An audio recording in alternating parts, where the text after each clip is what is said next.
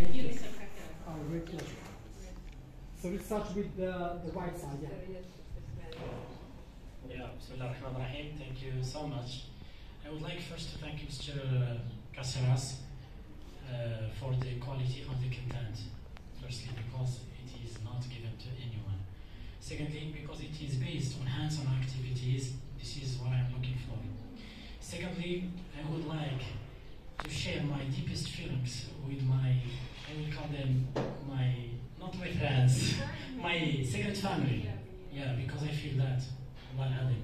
And uh, lastly, but not least, I am very uh, happy. I, I feel that uh, this opportunity will open up to me uh, a new field of interest, new field that is uh, uh, very, very promising. You know the importance of English and the importance of training this uh, beautiful language, I call it. And uh, thanks to your program, Mr. Qasserras, we can take off. Sure. Thank you. I will prove that, and all of us will prove that, inshallah, for in, uh, inshallah, in the near future. Sure. Thank you. Thank you so much. Okay, thank you very much for giving us this opportunity to uh, not. Uh, I remember a word that, that you have uh, told us when you came to Marrakesh in the first session. I, if I still remember, uh, you said that what is good about training is networking.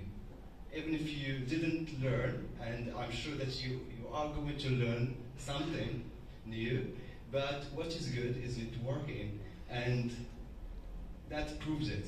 Okay, we we, we meet uh, different people from different backgrounds, from different cities.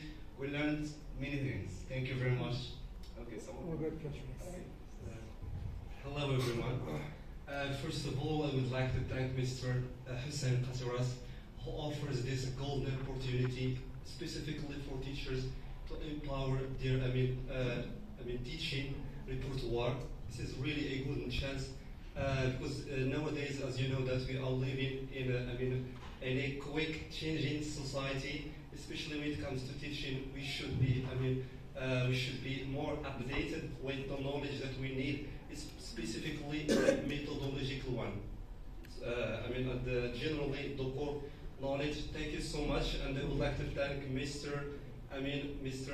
Uh, Slimani. Uh, he's a, he used to be one of my professors in the University of Cadi Ayyad. And uh, honestly, uh, personally, I don't belong to the I mean teaching field. My field is as a, as a hotel manager, and the reason behind doing so is to empower my teaching profile. For one reason is to, to do I mean voluntary work in rural areas. This is my reason behind doing so.